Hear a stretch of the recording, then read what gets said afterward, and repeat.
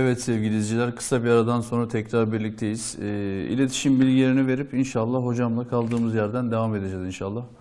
0216 488 0488 numaralı telefondan bizlere ulaşabilirsiniz. 0541 428 47 88 numaralı telefondan da şu anki canlı yayınımıza WhatsApp yoluyla mesajlarınızı atabilirsiniz. İnşallah biz de e, konuklarımıza sormaya gayret edeceğiz. Hocam evet e, Sayın Devlet Bahçeli ile ilgili Evet. e, kısa bir aradan önce e, kalmıştık. Buyurun devam edebilirsiniz. Teşekkür ediyorum. Bu hafta sonu değil, bir önceki hafta sonu belediyeler toplantısı vardı. MHP'li belediyelere konuştu Devlet Bahçeli Bey.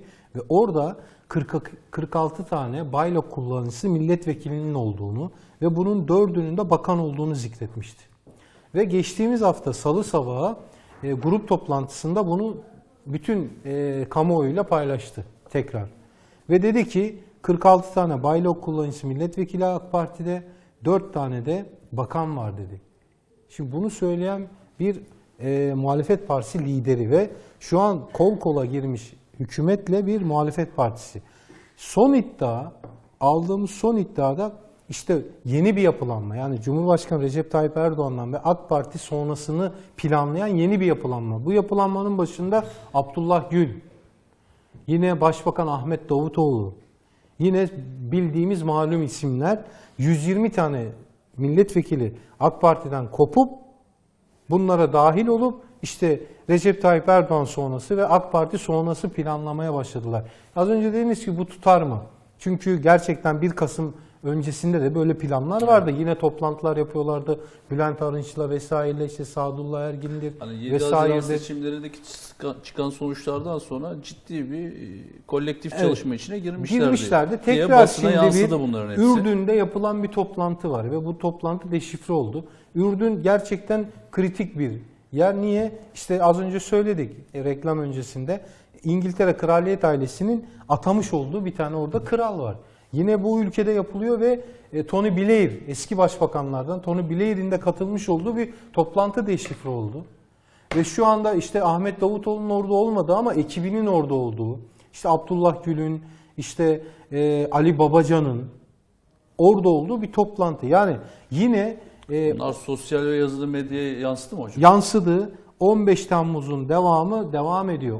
İkinci darbe girişimi nedir? Ekonomik olarak şu an yaptılar, yapıyorlar. Bir gerginlik var, piyasaları durdurdular. çalışıyorlar. Ve şu anda Ahmet Bey o konuya girmedi ama şu anda İngiltere menşinli korkunç dolar ve euro toplanıyor Türkiye'den.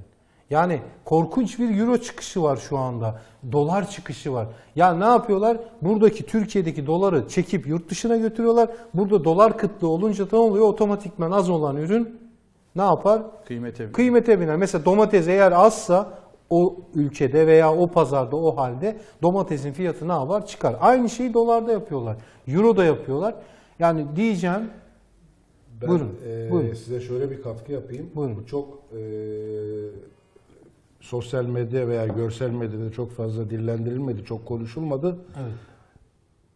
Bilen biliyor ama öyle Evet. söyleyeyim. E, Sayın Cumhurbaşkanımız e, Recep Tayyip Erdoğan'ın Amerika'ya son seyahatindeki Evet. e, bir esnada, bir e, şeyde o Rothschild ailesi ve Henry Kissinger eski Evet. e, Amerikan Dışişleri Bakanı bir kağıda not atıp Tayyip Erdoğan'ın masasına atıyorlar.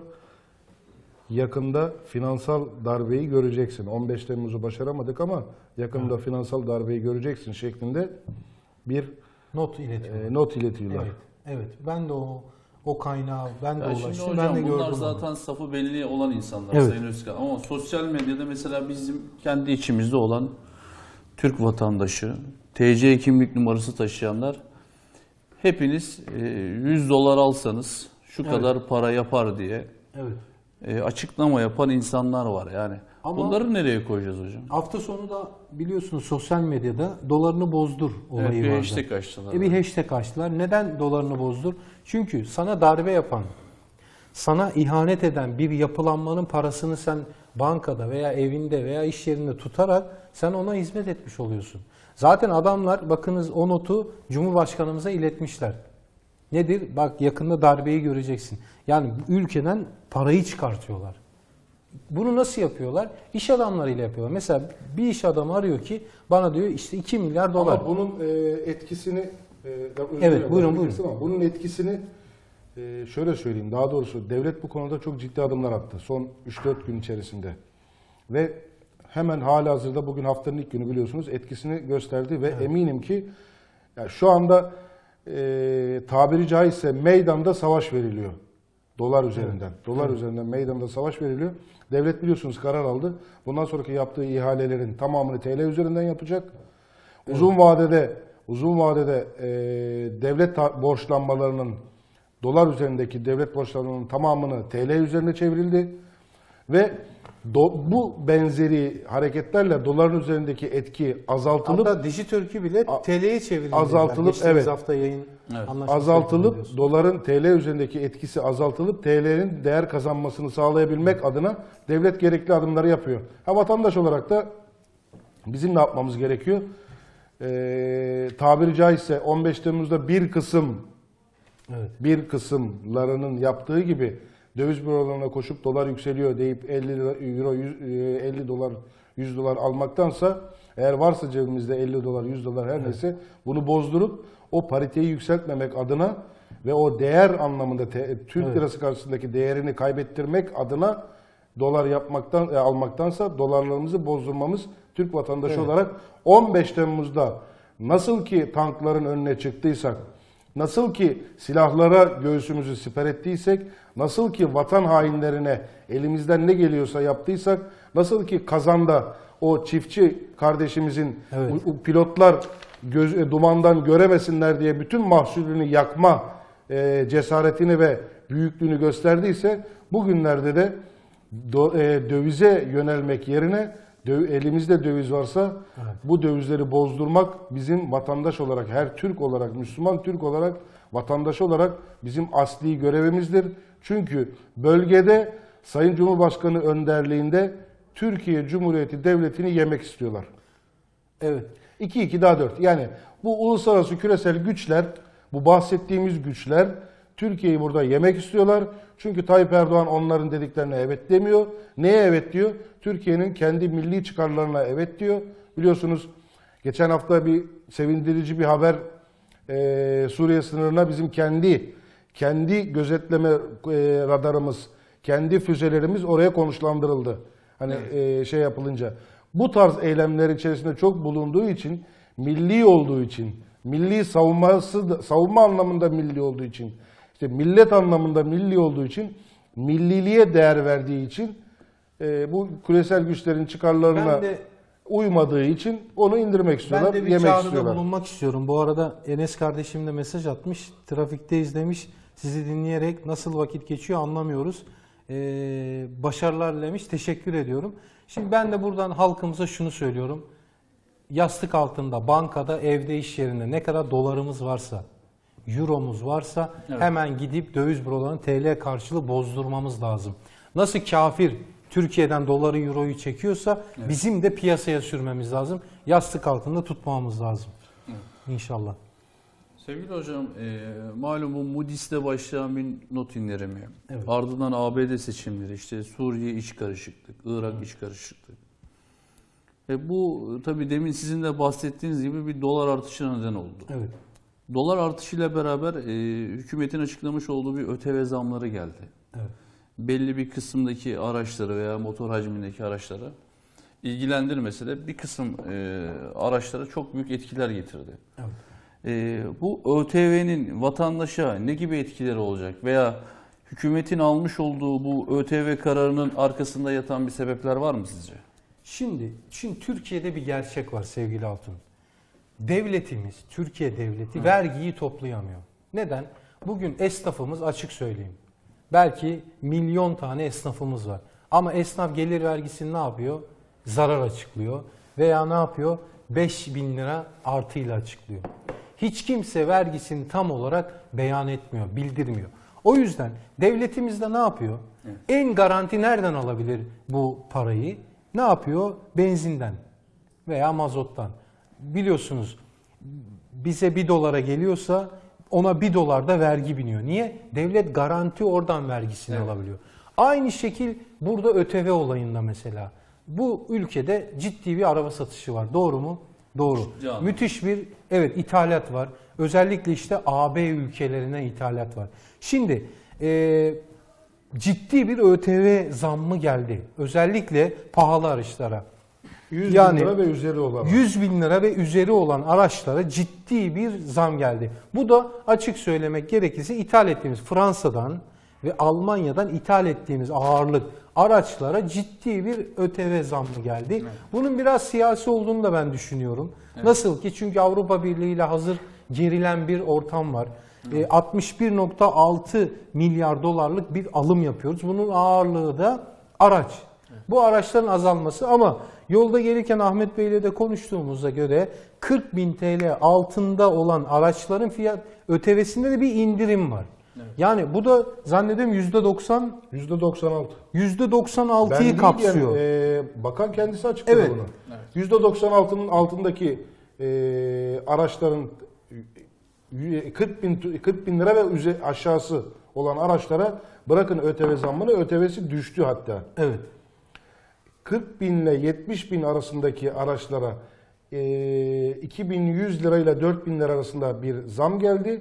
100 bin lira ve üzeri araçlara da işte 10 bin, 10 bin liradan başlayarak kendi şeyine Silindir göre hacmine göre, fiyatına göre silindir hacmine göre, fiyatına göre yani e, modeline göre değişik oranlarda zamlar aslında geldi. biliyorsunuz geçen Siyasi bir karar var mı hocam burada? ben %100 siyasi olduğunu düşünüyorum. Özellikle pahalı ithal Bakın ettiğimiz e, ben şöyle söyleyeyim %100 muhakkak. Şimdi çok güzel bir konuya değindi. Evet. Şimdi misal söylüyorum bir e, X bir marka, çok lüks X bir marka. Burada herhalde marka belirtemiyoruz. Evet, Evet. belirtemiyoruz. Ama bunu herkes biliyor zaten. İşte bugün mesela e, devlet erkanının birçoğunun kullandığı arabadan bahsediyorum. Evet, anlıyorum. Alman Şimdi, menşinli. Alman menşinli.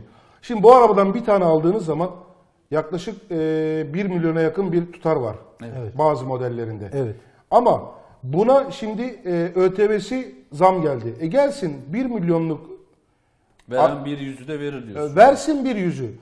Ki bu diğer taraftan bakın diğer taraftan 40 bin liranın altında ÖTV'si düştü. Yani orta Ya ve alt halk- kesimin orta ve alt kesimin kullandığı araçlar e, daha doğrusu o halka bu zam Ya ben çok yansımadı gibi bir şey yani. Tam anlayamadım. Yanılıyorsam düzeltin. Ya Türkiye'de satılan arabaların %96'sını kapsayan bir kısımdaki ÖTV vergisi düşürüldü. Düşürüldü bu kadar. Evet, pahalı olanlara da zam geldi. Biliyorsunuz geçen hafta e, Perşembe günü meclise geldi, Cuma günü de okeylendi hemen. Aslında bir hafta önce, yani meclise gelmeden bir hafta önce bütün araç e, ithalatçıları ve özellikle üretim yapılan, ülkemizde üretim yapılan araç firmalarıyla bir toplantı yapıldı. Bu toplantı sonrası bir yıl öteleneceği konuşuluyordu. Yani ÖTV zammının bu sene değil de bir dahaki sene yapılacağı. Piyasayı bir krize veya durgunluğa sokmuyor. Ama siz az önce ısrarla soruyorsunuz ya siyasi olabilir mi? Evet. Bana göre siyasi. Niye? Hatırlarsanız son bir haftada zaten Avrupa Birliği ile çok gerildi ortalık. Siz misiniz gelen? O zaman biz de pahalı araçları yani özellikle Almanya Fransa'dan gelen pahalı araçların ÖTV'lerini üstüne koyarız ve satışı da bakalım oluyor mu olmuyor mu? İşte Bana biraz- göre satıştan da korkunç Biraz bir önce olacak. biraz önce anlatmak istediğim oydu işte tam cümleyi tamamlayamadım. Hani Evet. e, yurt dışından ithal ettiğimiz Avrupa Birliği'nden ülkelerinden ithal ettiğimiz e, 61.6 milyar euroluk Evet. kısmında asıl pahayı hani e, şeyi çeken Parayı. kısım bu yüksek e, katma Araç. değeri yüksek e, Araçlar. araçlar. Evet. Şimdi düşünün 1 milyonluk or- e, bir araç var. Diğer tarafta 40 bin liralık bir araç var. Evet. Arada devasa bir fark var. Şimdi böyle 1 milyonluk 500 bin liralık 10 tane 20 tane 50 tane bir araç şayet alınmazsa bu 61.6 milyar euroluk ithalatımız bir anda düşecek demektir. İthalatının düşmesi demek ne demek? Türkiye'deki dövizin yurt dışına çıkmaması demek. E bu da bizim için iyi bir haber. Bu da bizim için iyi bir haber.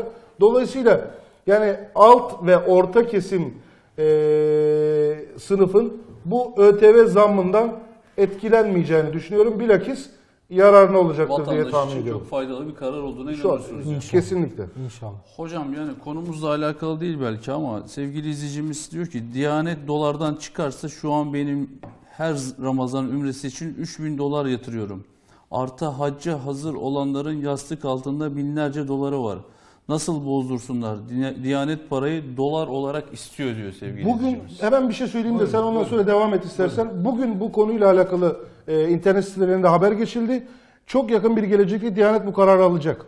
İnşallah. Yani mümkün değil. Bakın devletin kendisi başbakan diyor ki ben diyor bütün yatırımlarımı, bütün ihalelerimi artık bundan sonra TL üzerinden yapacağım. E Diyanet buna dayanamaz. Hala dolarla mı götürecek yani? Ama hocam mümkün değil. şöyle bir şey de var Sayın Özkan. Yani bakıyorum ben şimdi geçmiş yıllardaki kur politikalarına göre euroya çevirdiler. Şimdi dolar biraz aktif oldu, dolara çevirdiler. Yani şimdi insanların zaten e, buna ayak uydurma şansı yok. Ya ama orayı bak şurayı da atlamamak lazım. Orada mesela şimdi Diyanet uçak biletlerini dolarla alıyor. Oradaki otel anlaşmalarını dolarla yapıyor. Oradaki her türlü transfer işlemlerini dolarla yapıyor. Dolayısıyla Siz de onun için de gittiniz Sayın Özkan Bakın. sevgili hocam ama şunu duyuyoruz. Acizane Bitireyim benim de istersen. gördüğüm özür dilerim. Yine sizin konunuzla alakalı. Ya, Türk parasını tabiri caizse havada kapıyorlar. Yani bugün Türk parası Suudi Arabistan'da değersiz bir para birimi değil ama. Oraya getirecektim lafı zaten. Yani bütün bu anlaşmaları dolar üzerinden yaptıkları için Diyanet'in de kolaycılığına geliyor. İşin Türkçesi bu yani kolaycılığa gelmek. Kolaycılığa geldiği için de burada kendi vatandaşlarını da o da dolar üzerinden götürüyor. Ama şu saatten sonra Diyanet buna dayanamaz. Mümkün değil yani. Diretmemesi de lazım. Yani. Kesinlikle diretemez. O da mecburen TL'ye dönecek ve anlaşmalarını oradaki anlaşmalarında mecburen TL üzerinden yapacak. Ki o da bir İslam ülkesi, biz de İslam ülkesiyiz. Durumdan herhalde Şimdi programın ilk bölümünde ben demiştim ki bu Amerika Birleşik Devletleri için incirlik kapatılmalı. Evet. İncirlik kapatılmadığı sürece Türkiye bağımsız bir Türkiye olamaz. Kafasını kaldıramaz. yalnız orada Eğer diklenme yaparsa, diklenme yaparsa eee, hemen başına biner. Orta Doğu'da bak hiçbir politika gerçekleştiremiyor. Niye? İncirlikten kalkanlar kalkıyor PYD'ye destek veriyor, YPG'ye destek Ama veriyor. yani bakın, DAEŞ'e destek orada veriyor. bir yanlış Şimdi- e, an- yanlışlık e, orada Buyurun. düzeltelim istiyorsanız. İncirlik Amerikan üssü değil. İncirlik NATO üssü. NATO üssü. Ama kim kullanıyor? Biz şimdi e, kim kullanıyor Yani derken NATO'nun NATO'nun herhangi bugün Fransa da Hayır, kullanıyor. hayır. Gözüktüğü için Hayır, İşte o bir değil. hayır. Şu an bakın 5000 tane Amerikalı var ya. Bakın şimdi Adana'da Amerika Birleşik 1500 Devletleri tane askeri var. Recep Bey, Amerika ABD'nin. Birleşik Devletleri'ni Amerika NATO'nun izni ve şeyi olmadan kesinlikle kullanamaz. Yani bunu bilmemiz lazım. Tamam. İşte bu NATO'da alınan kararlar bunlar. NATO'da alınan kararlar olduğundan dolayı Amerika burada hani zaman daha etkin gözüküyor. O zaman NATO'yu Ama tartışmak yani lazım. işte zaten O geçen hafta geçen hafta Sayın Cumhurbaşkanı lazım. ee, özellikle söylüyorum. Geçen hafta Sayın Cumhurbaşkanı Şangay kelimesini niye ortaya attı? Sayın Cumhurbaşkanı hani alelade bir cümle mi kurdu diye düşünüyoruz yani. Mümkün değil. Tartışmaya açtı konuyu. Konuyu tartışmaya açtı. yanlışlıkla ağzından çıkmış bir kelime değil yani. Yani o Şimdi- şey yanlış anlaşılmasın diye düzeltmek Ben istedim. olayı anladım. İncirlik Amerikan üssü değil NATO üssü. Sevgili izleyiciye şimdi sorusuna ben cevaben şunu söylüyorum.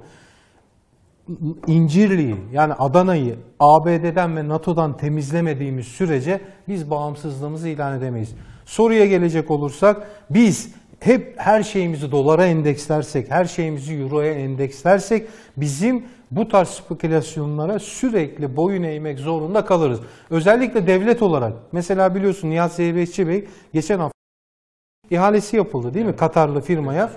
500 evet dolara zannediyorum. 500 küsür milyon dolara ihale edildi. Artık KDV. Evet ne dedi Zeybekçi Bey? Bunu dedi TL'ye çevirin lütfen dedi. O zaman sen bunu TL'ye çevirmesini istiyorsan Türkiye Futbol Federasyonu'ndan o zaman devlet olarak sen de ihalelerini dolar bazından, euro bazından çıkartıp TL'ye dönmelisin. Diyanet Döndü işleri zaten. Döndü, Diyan- açık, başbakan açıkladı. İşte- Bütün ihaleler bundan sonra TL üzerinden Buraya bağlıyorum. Şimdi devletin organları da TL'ye dönmeli. Diyanet İşleri Başkanlığı Direnemezler. Mecburen dönecekler. Dönecekler. O yüzden TL'ye dönerlerse bu sefer bu tarz spekülasyonların da önünü Ya kesmiş hocam hani olursun. Olmama şansı Hatta var. Bugün, bakın- Özür dilerim. Suudi Arabistan'la Türkiye arasındaki ilişkiler malum üst seviyede yani. Bakın burada yalnız hükümetin hakkını yememek lazım. Hükümet şu kararı da aldı. Uzun vadedeki TL borçlarının tamamını da TL'ye çevirdi.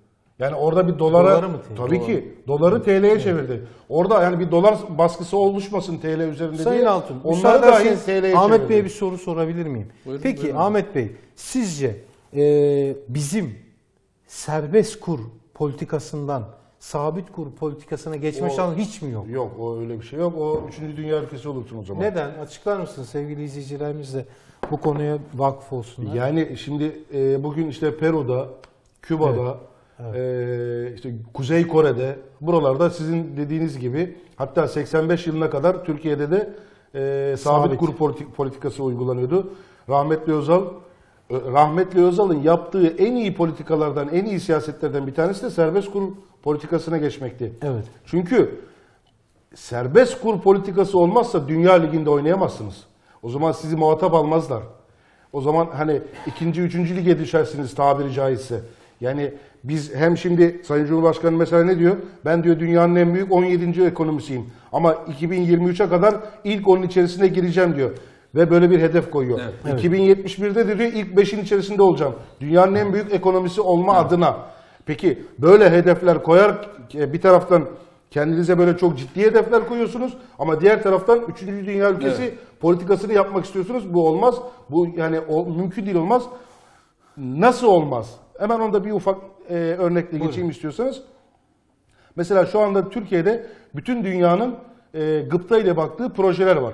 Doğru mu? Evet. Üçüncü İşte hava. Üçüncü Havalimanı, e, Yavuz Sultan Selim Köprüsü olsun, Kanal Osman Gazi İstanbul. Köprüsü, Kanal İstanbul, e, ikinci Marmaray Evet. gibi. Şimdi bu projelerin tamamına tamamında biliyorsunuz e, yurt dışı menşeli kredilendirme var bunlarda. Evet, yabancı Şimdi menşeli. yabancı şirketler kre- kredi açıyorlardır. Yap- Bu e, Türk firmaları bunu yapıyorlar. Şimdi eğer sen o bahsettiğin sabit kur politikasına geçersen hiçbir yabancı Evet. ülkeden bu tarz e, kredi bulamazsın ve dolayısıyla bu ne demek? Böyle projeler yapamazsın.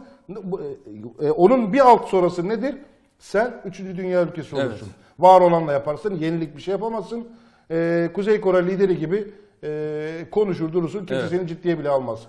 Yani Hocam- olayın şekli bu. Buyurun. İyi akşamlar e, sevgili hocam demiş. Sohbetinizi büyük beğeniyle izliyorum. Konuları şeffafça yorumladığınız için çok teşekkür ederim. Ben İstanbul'dan Abuzer Özcan. Başarılarınızın devamını diliyorum diyor. Çok teşekkür ederim diyor. Biz de kendisine teşekkür ediyoruz. Allah razı olsun. Hocam malum e, sosyal medyada ve yazılı medyada e, tepki de görmüştü ama bu İsrail'in e, ezan okuma ile ilgili bir meclis kararı yasak getirdi. Hemen o akabinde İsrail'e olmuş olan e, çok büyük bir yangına maruz kaldı. Bu yangının akabinde e, Türkiye'nin resmi yollarda yangın söndürme uçakları gönderdi. Bu kesim bir kesimden e, takdir topladı, bir kesimden e, sert bir şekilde tepkiler gördü. Sizin e, İsrail'deki e, yangına Türkiye'nin uçak göndermesiyle ilgili görüşleriniz nedir hocam? Şimdi bir gerçek var ki AB'nin hemen hemen tüm ülkelerinde yani Almanya'sı, Fransa'sı açıktan ezan okuma yasak. Yani demokrasi ülkesi diyorlar kendilerine. Özgürlükler ülkesi diyorlar ama açıktan ezan okumak yasak. Bizim oradaki camilerimiz hep ya bodrumlarda ya iş yerlerin köşelerinde. Ben bizzat birçoğunu gördüm. Orada açıktan ezan okumak yasak. Aynı hainliği, aynı eee, nasıl despotluğu yapan İsrail ezanı yasakladı. Evet. İsrail'de de ezanı yasakladı. Ama ne yaptı? Allah onların belalarını verdi. Burada nedir? Yaklaşık bir haftadır yeni kontrol altına alabildiler. Yangın verdi. Bizden uçak istedi, yangın söndürme uçağı. Biz insani olarak verdik. Ben devletimizi tebrik ediyorum, destekliyorum bu konu. Neden? Çünkü insan komşusuna yardım eder. Komşusu Yahudi de olsa, Hristiyan da olsa komşusuna yardım eder. Ben böyle düşünüyorum. Çünkü orada yanan nebatat, orada yanan hayvanat. Onların da bir hakkı vardır. Komşumuz olarak ben görüyorum. O yüzden buraya uçak verilmesini eleştirenlere de ben katılmıyorum. Bir de şöyle bir, Eleştirmek şöyle bir çok şey var. yanlış. Çünkü Onu da insan unutmamak lazım. Hani biz komşusuna yardım Müslüman eder. olarak ahlakımızla e, örnek olması açısından örnek olacağız ya. E, Evet. Bu şekilde de örnek olmalıyız diye düşünüyorum yani. Müslüman kriterlerine uygun bir davranış. yani.